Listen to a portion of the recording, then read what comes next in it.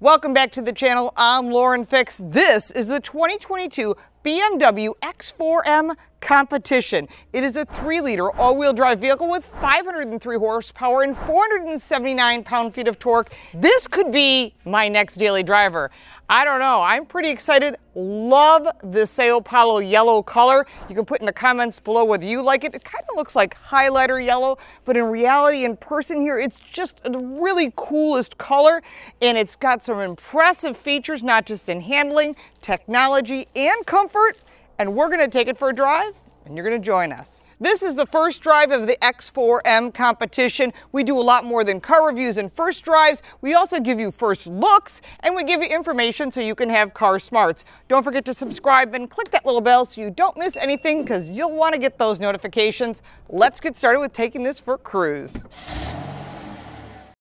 So the first drive is just getting a feel for what this vehicle is like. It's very German. I love the way you can manually drive this or put it into a sport mode. The fact is is that this vehicle is that perfect all-around balance. You can put it on the track. You can put it on the street. You can drive it daily. You could drive it through the winter. I would.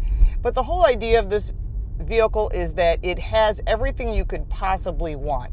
And that's what I really love about this vehicle. If you're used to a BMW X4, X5, you're not going to get in this thing and feel uncomfortable, but it does have some extra buttons. It has an M1 and an M2, which puts it into your sport modes, the M2 being the most aggressive. And what I also like about this is that it's super intuitive. You've got your iDrive, which is normal, your bright red start stop button, which Yes, you have to have that.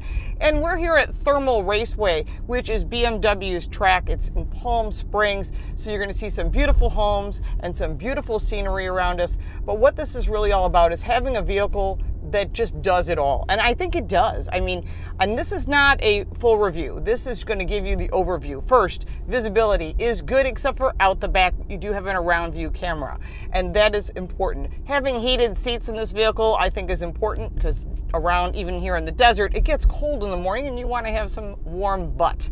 But as far as the vehicle itself, looking in front of you, I like the gauges. They're all digital. It's important to note that big, beefy, meaty steering wheel, which is what they're starting to do now. And I think that's one of those things that, you know, people don't think about that. They think, oh, you know, you know, I don't need a big beefy steering wheel. I think you do. I think if you're driving a car that says competition, you need to have that. All the information is here in front of you.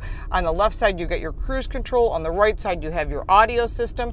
Then you've got all of your information in front of you, multimedia interface, standard BMW. Nothing of a big surprise there, which I do appreciate.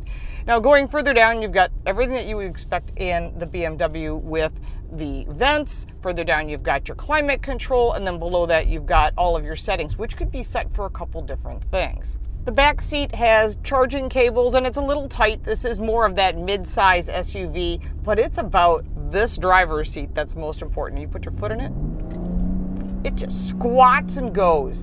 You can turn the volume up, you can you can zap it back to its home base. I find it very frustrating to be honest with you. I would not use it, I would shut it off, but again, this is something people want to keep their hands on the wheel. When they want to do the volume down, they just do the volume down. Listen, I just rather turn the volume down. The, the button's there. That is my only beef. See, and this drives me crazy. That is my only beef with this vehicle. I do shoot my own footage when it comes to these vehicles because sometimes we don't have any B-roll, which we don't. This has seven cameras, of which one of them's for filming. Six of them are for not hitting anything. If you ever had a drone hit something, you'll be really glad that you have a Skydio. They're pricey, but they're worth every cent. Shall we try the brakes? Here we go. See, when you're stopping this heavy vehicle, you need to have big brakes. Nice balance again. BMW's done a really great job with retooling their vehicles, and as they redesign them or do mid-cycle refreshes, which is what we call in the business, that they make a few changes but not massive changes. They're starting to make the balance even better, making the interface even more intuitive, and I think they've done a really nice job. And I'm really loving these seats. Let me give you a little bit about pricing. This vehicle starts at $73,000. It's $7,000 for the competition package. Yeah, that's worth it. Absolutely. This vehicle came in at $86,000. It had some other packages on it. I am truly, and I don't say this about a lot of vehicles, there's not even worth putting a Car Coach Reports rating on this. The only negative I can think of is that stupid gesture control. And all right, the second row is a little bit tight, but there's nothing wrong with this car. And that's why I really like this vehicle. It's hard to find vehicles that have great tight turning radiuses, good braking, good performance, something you can use every day, a round view camera. It's got literally everything. If you can think of something else you would add, okay, maybe massaging seats, that doesn't count. That's not necessary in a competition vehicle. This vehicle has it all. Let's take a look at the back and I'll show you the storage area and we'll go over a few more details that you'll want to know. Coming around to the back of this pretty impressive vehicle, you push the BMW Roundel logo and then you have your storage. Now there's additional storage underneath this container, not much, little spots on the corner, but it does have a full-size spare, which is appreciated when you have an SUV. The seats can split 60-40 or in the center there's a passenger, so it's 40-40-20. The storage on this vehicle is partly what this vehicle is about but there's a little bit less than that of its competition, but it does have the competition package, which is a $7,000 package. I would buy this without a question, especially with this cool black wing. Across the back is this very cool high airfoil, and then you've got the BMW Performance Wing. I love this vehicle. It's just everything. You could put it on the track, you can drive it on the road, and you can have fun with it. So if you want that all-in-one package, this would be it because I like to drive performance cars on a regular basis. LED taillights, you've got your valance across the back, just like the other M vehicles, and the cool exhaust pipes, and these are big old throaty sewer pipes.